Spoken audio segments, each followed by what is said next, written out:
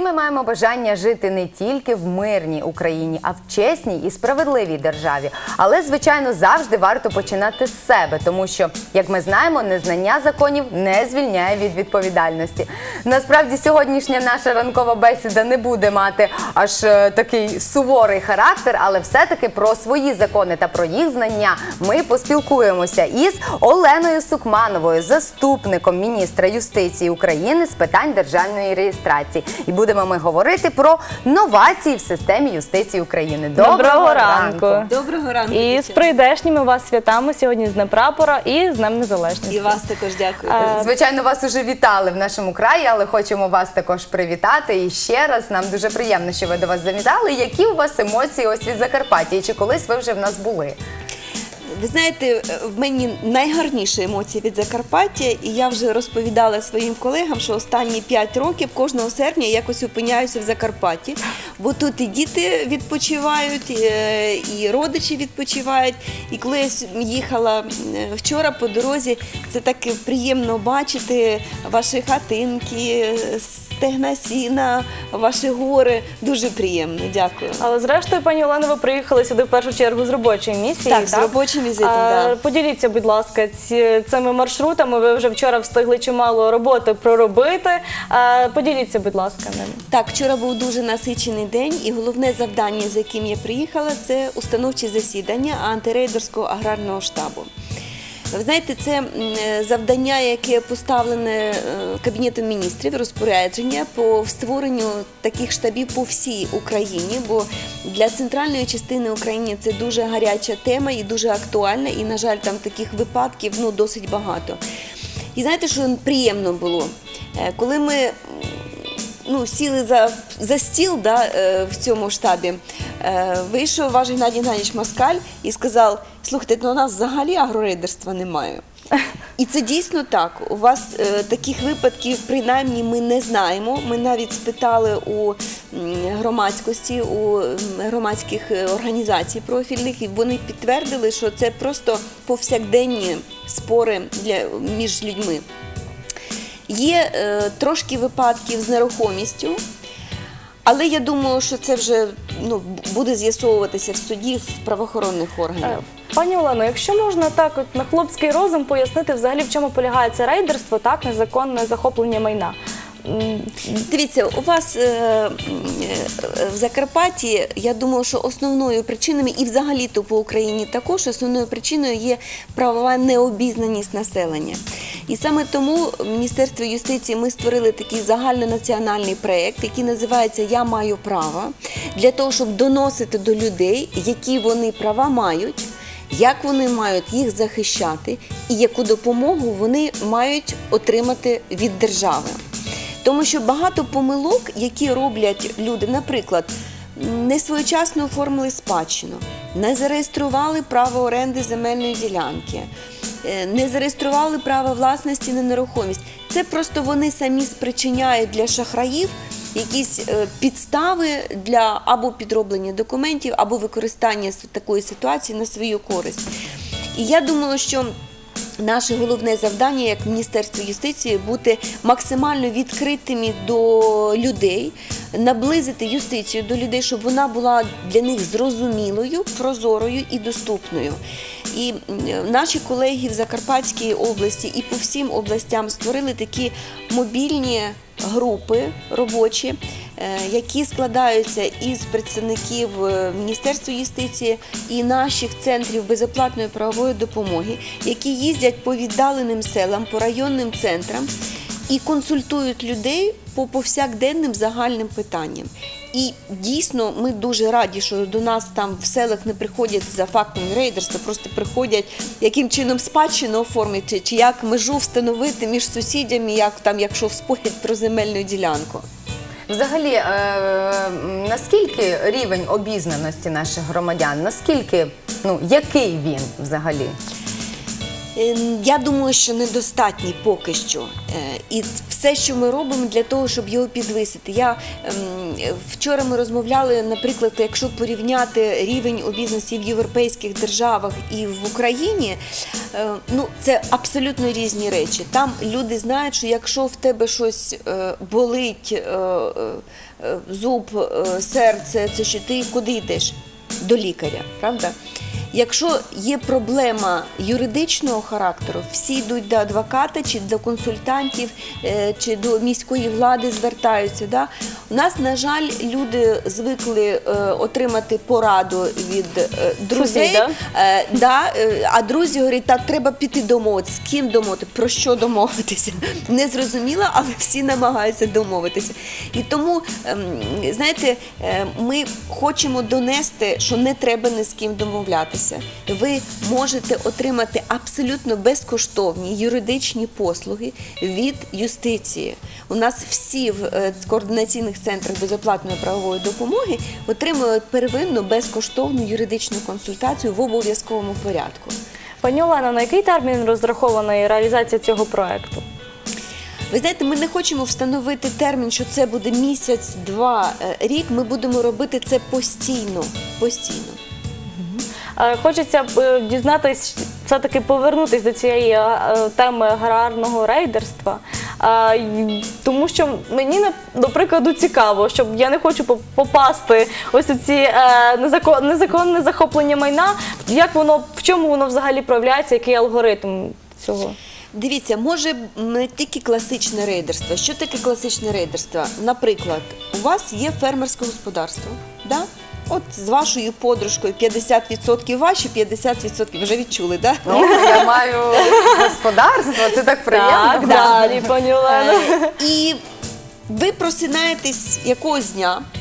Ви знаєте, що права на долю в бізнесі товариства з обмеженою відповідальністю, чи якесь інше, повинне бути зареєстроване в реєстрі. Також право власності на майно нерухомо виникає з моменту реєстрації в реєстрі. Право на оренду земельної ділянки виникає з моменту реєстрації в реєстрі. Тобто, у нас реєстр це зараз найголовніша така тема, яка підтверджує право на щось. Ви заходите в реєстр і бачите, що ваші 50% вже не ваші, а когось іншого.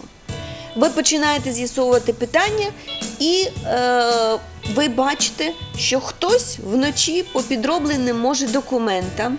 От, до речі, ми е, останнього випадку е, бачили, що це договір дарування, нібито офшорній компанії за підробленими підписами. Були такі випадки.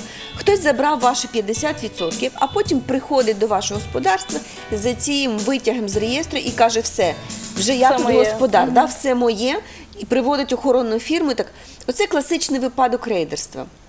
І для того, щоб е, люди мали можливість дуже оперативно відновити свої права, при Міністерстві юстиції працює так звана антирейдерська комісія. Взагалі-то вона називається комісія з розгляду скарг в сфері державної реєстрації, але в народі вона вже названа антирейдерська комісія.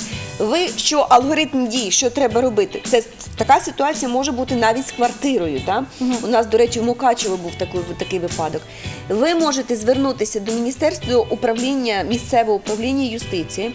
Або до центру безоплатної правової допомоги. Вони допоможуть правильно скласти скаргу, в якій повинні формально бути зазначені всі, е, всі речі, які там повинні бути.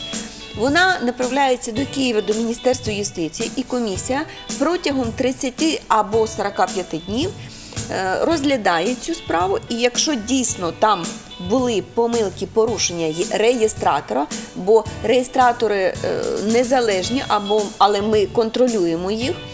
Ми відновляємо це право і в реєстрі також саме.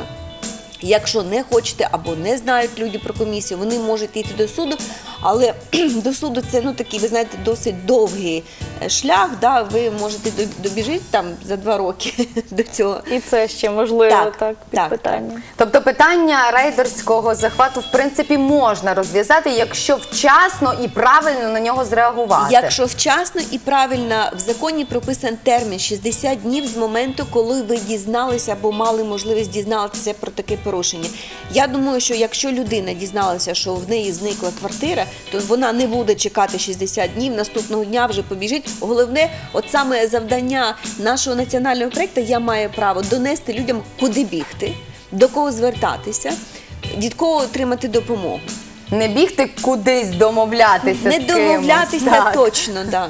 А якщо вже цей термін 60 днів минув, все-таки є якісь важелі управління, які би ми Якщо можна термін було? 60 днів, ну знов таки е, він починає бігти з моменту, коли людина дізналася або могла дізнати. Вона Ага. можливо, якщо вона в відпустці була, або там десь на заробітках, е, вона дізналася, може і через рік. Або але зараз вона зайшла в реєстр, взяла витяг і побачила, боже мій, що тут трапилося. От саме з цього моменту ми відраховуємо от 60 днів. Якщо ні, то людина в будь-якому випадку має звернутися до правоохоронних органів. Правоохоронні органи е, протягом 24 годин повинні прийняти заяву і е, порушити кримінальну справу, внести її в єдиний реєстр кримінальних справ.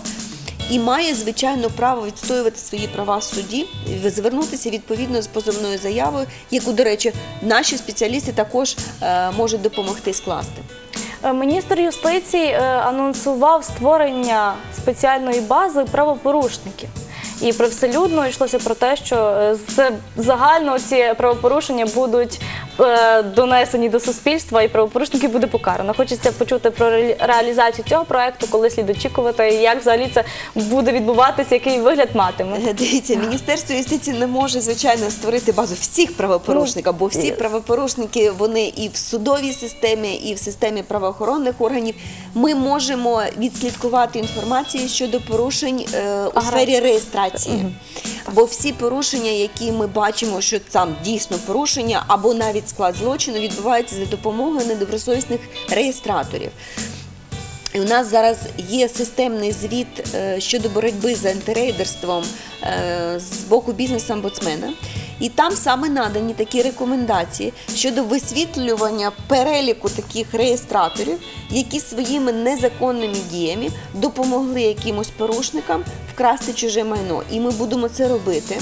І навіть на сайті Міністерства юстиції дуже скоро ви можете побачити, якщо ми призначаємо камеральну перевірку реєстратора, то ми будемо освітлювати інформацію, яким чином вони покарані, бо когось ми тимчасово блокуємо за незначні порушення від реєстру, а когось ми взагалі анулюємо. Про, про які ще свої права можна дізнатися в рамках ось е, цієї ем, ну не акції, а цього я маю право. Ви проекту знаєте, я ви маю можете право. дізнатися не тільки про права стосовно реєстрації майна, да? ви можете про будь-які права в юридичній площині е, дізнатися. І про право, якщо вас там, не, не дай Боже, затримують правоохоронні органи, і про право, яким чином поставити апостиль, до кого звернутися, і як зареєструвати дитинку онлайн, і як е, отримати свідоцтво про народження дитини у пологовому будинку, щоб це було швидше, скоріше, бо матусям після виходу з пологового будинку завжди не до цього, і він, вони це таке додаткове зусилля до них. Про будь-які права. До речі, е, багато таких ось для нас звичних процедур вони переходять в режим онлайн. Так. І багато людей лякаються, чесно кажучи, цього, особливо старше покоління, яке не дуже так е, дружить із комп'ютерами, не, не дуже розуміє, як діє система інтернету. Ем, як же ж все-таки ну, їх переконати, можливо, або дати зрозуміти, що через інтернет воно і швидше, і легше, і надійно, воно нікуди ніде не загубиться і не пропаде. Ви знаєте, я розумію, що це такий людський фактор. Да? Можливо, чоловіки вони е, більш прогресивні в цьому питанні, але я навіть як про жінку можу себе сказати, що це треба один раз спробувати. Давайте згадайте, коли кожен з нас перший раз спробував щось купити в інтернет-магазині. Страшно було. Страшно, і мені також страшно. Я чесно визнаю, що мені також було страшно. Але коли ти натиснеш кнопку і за два дні отримаєш товар, і ти думаєш, боже, як це просто. І ти починаєш це робити кожен день, і потім ти вже думаєш, а може і це також можна зробити, чи і це також, і квітки замовити, і таке.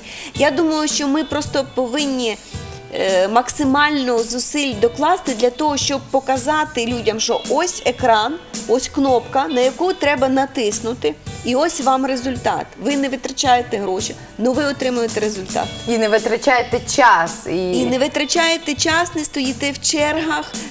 Да. Пані Олено, ми вам дуже вдячні за сьогоднішній візит. Я гадаю, кожен, хто зараз мав змогу долучитися, віпнути телеканал ТС1, зміг почути е, актуальну інформацію для нього особисто. Я сподіваюся, наша гостя відповіла на питання, можливо, які ви хотіли поставити. І ми вам дуже дякуємо за візит. Дякую. Приємного перебування вам в Дякую нашому зі святами вас. І вас Я хочу теж. нагадати, що до нас в студію сьогодні завітала Олена Сукманова, заступник міністра юстиції України з питань державної реєстрації. А наш ефір триває святковий, і зараз ми в нас виникло таке питання, як святкують День Незалежності наші ужгородці. Що ж вони нам відповіли? Давайте ми зараз і прослухаємо.